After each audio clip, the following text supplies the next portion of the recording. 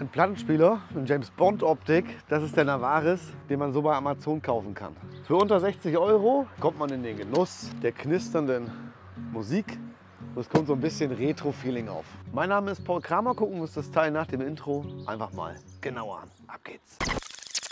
Schön, dass ihr eingeschaltet habt und herzlich willkommen auf meinem schwimmenden YouTube-Studio.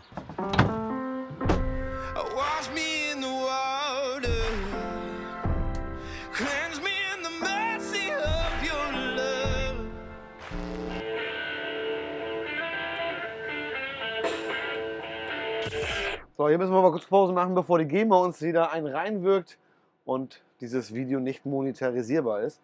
Ich werde es auch nicht unnötig in die Länge ziehen. Ich werde euch zeigen, was das Ding kann, wofür es da ist und was es überhaupt bringt. Wer sich übrigens im Laufe des Videos dafür interessieren sollte, für rund 53 Euro kriegt man den Navaris Plattenspieler bei Amazon. Link ist unter dem Video in der Infobox drin. Ich persönlich bin noch mit Schallplatten groß geworden. Es gab da schon längst Kassetten und sowas, aber wir hatten jede Menge Geschichten äh, auf Schallplatten, Pinocchio und äh, Biene Maya und Pippi Langstrumpf und Konsorten.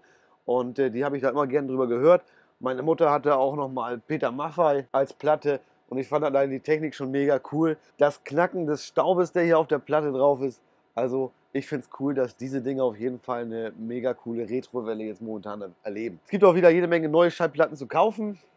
Wie hier zum Beispiel von ACDC habe ich erst letzte Woche gekauft, um das hier einmal kurz vorführen zu können. Und ich freue mich auf jeden Fall schon auf den nächsten Flohmarkt, wenn wir da ein paar Platten für die Kinder ergattern können. Aber schauen wir uns das Gerät mal genauer an. Warum dieses Modell ganz klar Preis, Leistung und Optik stimmt. Man bekommt hier auch die Koffer in verschiedenen Farben. Man kann das mit, äh, mitnehmen, transportieren und äh, das finde ich auf jeden Fall eine coole Sache. Auf der Rückseite des Koffers haben wir unsere Anschlüsse, also das ist einmal der Strom, das ist einmal Line-Out, dass wir es zum Beispiel direkt in die Stereoanlage mit einbauen können. Der AUX-In, wenn wir hier über die eingebauten Lautsprecher äh, irgendwas abspielen möchten, zum Beispiel vom Handy und einmal der PC-Anschluss. Dann wir haben die Möglichkeit mit dem Teil unsere Platten auch zu digitalisieren, was für mich persönlich nicht der Kaufgrund war, weil wenn ich auf YouTube gehe oder auf Amazon oder sonst wo, kann ich jeden Titel auch irgendwie runterladen oder auch kostenlos zum Beispiel hören. Mir geht es ganz klar um das Feeling der äh, Plattenspieler, äh, das Plattenspieler-Feeling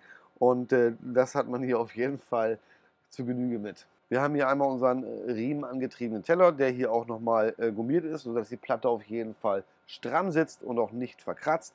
Für die mit dem größeren Loch haben wir natürlich auch die Adapterplatte hier mit beiliegen. Ihr könnt ja mal in die Kommentare reinschreiben, wie diese Platten dafür heißen, ob das Maxis sind oder sonst irgendwas. Gibt es bestimmt auch einen speziellen Namen. Wir haben hier einmal unseren On-Off-Schalter, der auch gleichzeitig die Lautstärke mit regelt. 33, 45 und 73 haben wir hier den Speed-Knopf, das können wir hier einstellen. Und wir haben die Möglichkeit des Autostops, das heißt, ist die Platte zu Ende, dann äh, hört die Platte auch auf zu drehen.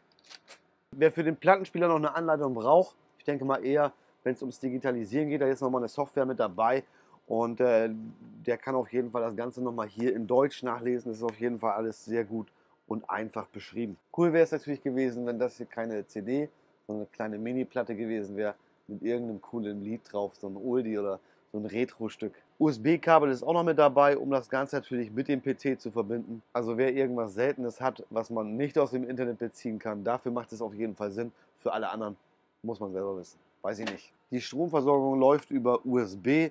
Netzstecker ist auch mit dabei und einmal diesen Klinkenstecker, den man hinten in den Plattenspieler einstecken kann. Das Ganze dann ab in die Steckdose und schon sind wir betriebsbereit. Platte drauf, ganz wichtig hier unseren Arm entriegeln. Dann können wir das Ganze einschalten. Ich lasse es jetzt mal ohne Lautstärke laufen, denn sonst habe ich was mit der GEMA am Laufen. Wir können unseren Arm hier anheben, ein Stück nach vorne werfen, runterlassen und das Ganze läuft dann automatisch Track für Track. Klar, wer High-End möchte, ne, der kann sich natürlich hier oben noch einen anderen Kopf dafür kaufen oder spezielle Nadeln und was es da nicht alles für gibt.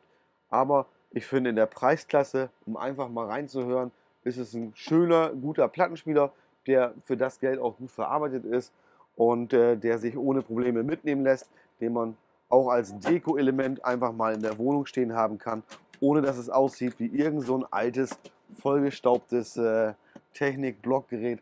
Lautsprecher sind hier integriert, die könnten ein bisschen äh, basslastiger sein, aber für noch mehr Lautstärke und Bass kann man natürlich mit externen Lautsprechern arbeiten. 2,5 Kilo wiegt das ganze Teil. Ich hoffe, ich konnte euch mit meinen Informationen soweit weiterhelfen. Der Link ist unter dem Video in der Infobox. Ein Abo dürft ihr selbstverständlich auch da lassen.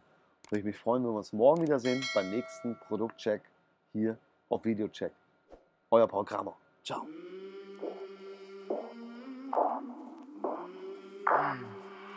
I came from the mud. There's the